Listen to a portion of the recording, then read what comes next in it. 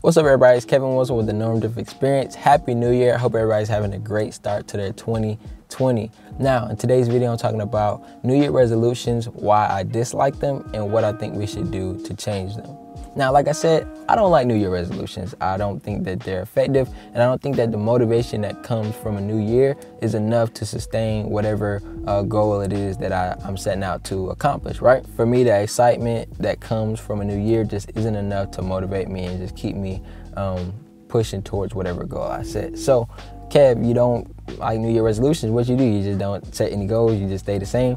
No, instead of doing New Year resolutions, what I'm focusing on now is setting um, God centered lifestyle changes, right?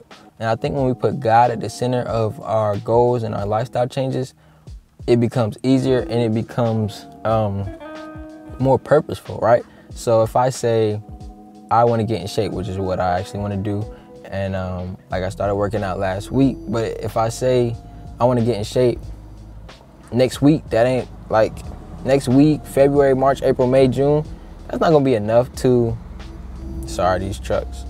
But yeah, like February, March, April, May, June, that's not gonna be enough to motivate me. The fact that it's 2020, that's just not gonna be enough.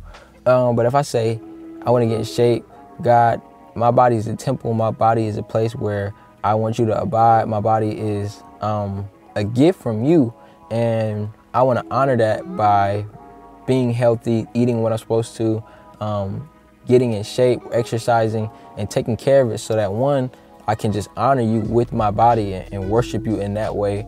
And two, um, I can be here on this earth for as long as possible so that I can fulfill the purpose that you've put in me. Once you think of it like that, it becomes different. It becomes, at least for me, much easier to go to the gym when you're saying, this ain't even for you, bro, it's for God. Like, like for me, getting a six pack is just not motivating enough for me to keep going to the gym, for me to keep eating right, for me to not eat the stuff that I really want to eat. It's just not enough. Like I, I don't care that much. Like I'm gonna be honest. Like the six pack and all that is cool, which I'm about to get it. Don't just wait on it. But that's not motivating enough. For me, it's, it's God. I want to honor you with my body. I want to take care of it to the best of my abilities so that I can live as long as possible so that I can do what you called me to do.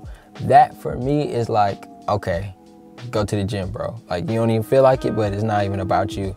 This is not uh, this is this is really beyond you. Like it's above you uh, for real. And so when i think of it like that it changes things. And yeah that's all i had. I just wanted to drop that thought real quick. Um, hopefully you guys pick that up. Matter of fact leave a comment with the god-centered lifestyle change that you're gonna um, pick up and and you know what you're gonna be doing in 2020 and so yeah it's gonna be a great year. Um, god's gonna do a lot of great things through it so i appreciate you guys for watching. Remember to make today worth living. Peace